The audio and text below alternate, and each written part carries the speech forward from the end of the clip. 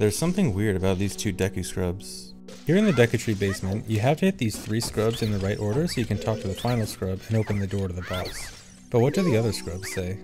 Using glitches, it's possible to get to the Deku Tree basement as adult and use the hammer on them, which automatically pops the scrubs out of their holes. But these ones go right back in immediately.